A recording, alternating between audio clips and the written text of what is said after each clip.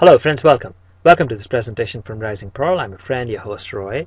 You know we are talking about series 1 where we are discussing real numbers. This is episode number 13. Today's topic friends, finding LCM using prime factorization. Let's dive in. Now earlier we have seen fundamental theorem of arithmetic, what is meant by fundamental theorem of arithmetic and then we saw that fundamental theorem of arithmetic directly leads into prime factorization. So today we are going to learn how do we use how do we use prime factorization to find out LCM? Quick recap, LCM is a short form for lowest common multiple. That means um, smallest number that can be divided into by all the given numbers. So let's take an example. It's always easy when we take an example and then discuss these concepts. So for example, if I have 10, 12 and 25, randomly picking some numbers like we always do, so if I say that I want to find out LCM of 10, 12 and 25, what do I mean? It means I'm trying to find out such a number which is somewhere out here, somewhere uh, there. Uh, and you know, let's just call this number ABC. We don't know what the value of ABC is. But it is such a number that can be divided by each of these numbers. So I can do ABC divided by 10 and I will have no remainder, remainder 0. I can also do ABC divided by 12 and again it will fully divide into there will be no remainder and I can do ABC divided by 25 and again there will be no remainder. So smallest such number that can actually be completely divided by 10, 12 and 25. That is what is meant by LCM. So how do we use prime factorization to find LCM? Let's find out. So the first step is Find prime factors for each of the numbers. So 10, 12, 25, if these are our numbers, then we have to first find out prime factors for each of the numbers. And then we have to multiply the highest power of each prime factor that appear in all of the given numbers. So we have to pick the highest power of each prime factor that appears in all of the given numbers. If we do that, if we find out the product, that product is going to be the LCM. So friends, again, it's always easy if we take some examples. Um, how about we start with the same example? So let's do this. Um, if our numbers are 10, 12, and 25, what is the LCM of these numbers? So we are trying to find out the LCM LCM for 10, 12 and 25. So let's see. Now, so first we have to find out prime factors. So 10 can be written as 2 times 5. 12 can be written as 4 times 3. 4 can be written as 2 times 2. Right? 25 can be written as 5 times 5. At this point, we have all the prime factors. So, let's write it this way. So, 10, I can write this as 2 times 5. 12, I can write this as 2 times 2 or we can say 2 square. So 2 times 2 times 3 and for 25 we can write this as 5 times 5 which is 5 square. So what will be the LCM? LCM is a product of highest power of each prime factor that appears in all of the given numbers. So we are looking to first of all find out every single prime number. So what are the prime numbers that appear?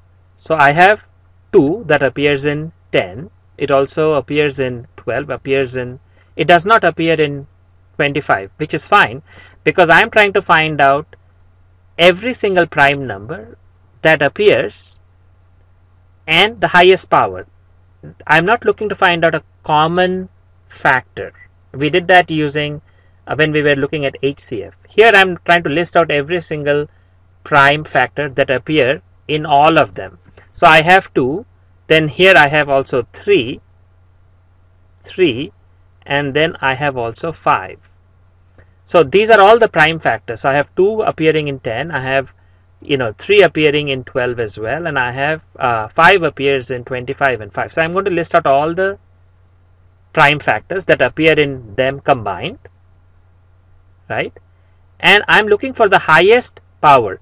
So here uh, 2 to the power 1 2 to the power 2 so the highest power of the fact prime number 2 is power 2 then what about for 3 3 appears only in 12 when it is power 1 so highest power is 1 and 5 appears here which is power 1 for 10 and power 2 in 25 so I have to use the highest power which is power 2 so if you multiply that so now 2 2s are 4 times 3 times 5 5s are 25 so 25 fours are 100 times 3 is 300.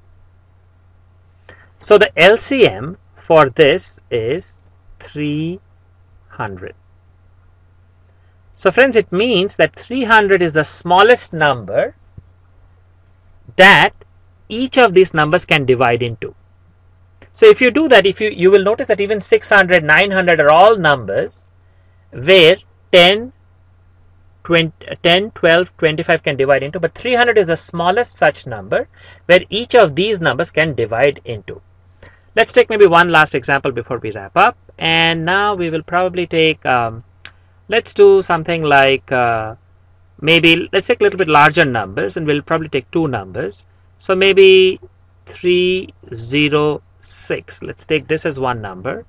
And for the other number, let us take something like maybe you know um, how about 22 just randomly pick two numbers. So now for this number let's try to find out the prime factors first.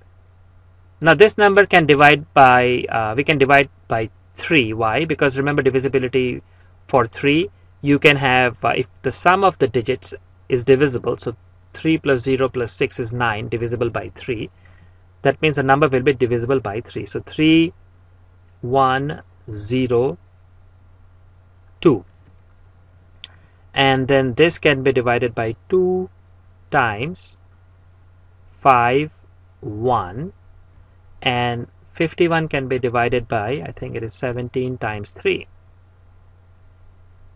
right?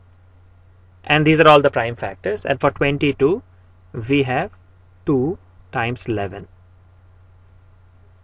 so if you write down the prime factors so 306 can be expressed as um, I have uh, let's see what all I have. I have got 3 I have 2 and then I have these two numbers right? All the prime factors.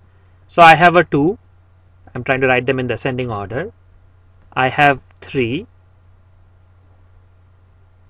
and I have 17 so there is only one 2 here. So 2 to the power 1 3 I have got 1 and 2 3's so 3 to the power 2 and there is 117 power 1 now for 22 for 22 I have got 2 to the power 1 times 11 to the power 1 so now when I'm trying to find out LCM lowest common multiple remember I'm trying to list every single prime factor that appears in these two numbers so what are the prime factors that appear in 306? Well, I have got 2, I have got 3,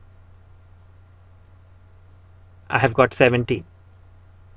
Similarly, in 22, I have got 2, so 2 is covered, and then I have got 11. So these are all the prime factors that appear in 306 and 22. Now we are looking for the highest power. So in both cases for the prime factor prime uh, number uh, or you know the factor 2 I have got the power maximum power is 1 for 3 I have got power 2 17 power is 1 highest power for 11 power is 1 so essentially the LCM of these two numbers the LCM for these two numbers will be the LCM is equal to so 2 times 3 3s are 9 then 17 11 I'm not going to multiply this but if you multiply this and whatever you are going to get that will be the LCM for these two numbers